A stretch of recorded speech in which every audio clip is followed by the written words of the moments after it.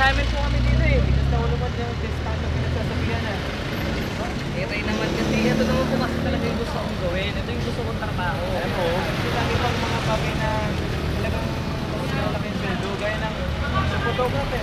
Diba ka na lang? Eh, tayo kasi ito nga. Actually, boy lang. Bentado ka lang sa ako. Ano? Alis na ako. O siya tayo. Tara, sabay na tayo.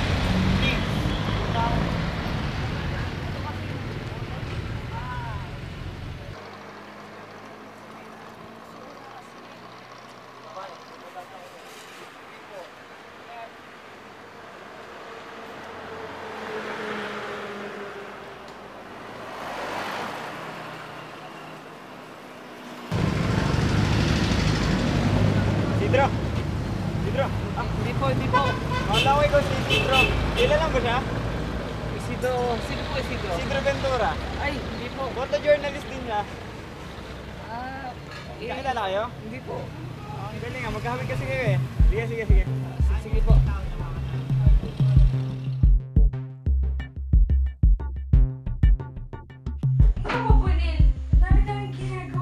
Bahay.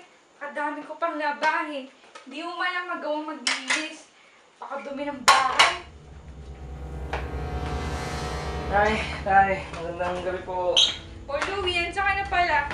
Ungkot ka ng kakain na tayo. Mga po, Ray. Nailo ba kanina sa trabaho? Dami nagkikwento sa akin na may kumukha daw isang photojournalist. Pangalan daw niya ay si Sidro Ventura. Ay, nako. Sigurado ka ba dyan, anak? Ah, basta sa akin. Mas gwapo ka doon. Kamukha mo pa nga tatay mo eh. Bakit ba hindi ka na na nagpulis? Sa katapatan mong ipinamamala sa akin, ay bibigyan kita ng isang misyon, Bonel. Misyong may magandang papuya. Talaga po, Mayor? Sige po. Kahit ano man yan, gagampanan ko. Kaya naman ikaw ang napili ko kaagad sa misyong ito, Bonel. Napakatapat mo sa akin. Kaagaran kitang itataas sa ranggo ng pagiging superintendent. Huwag kang mag-alala. Kung may mangyari mga anomalya, ako ang bahala sa'yo.